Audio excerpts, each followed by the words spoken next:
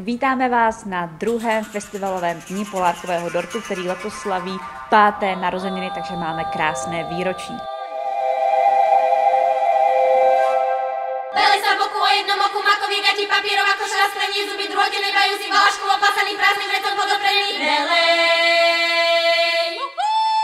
Dnes je tady bohatý program, jsou tady nejenom divadla, sprejování, tisk kosmonautů a tušňáku na trička, ale taky samozřejmě koncerty a spousta dalších zajímavých věcí. A navíc se o vás postaráme s tou největší pečlivostí. My vás napojíme,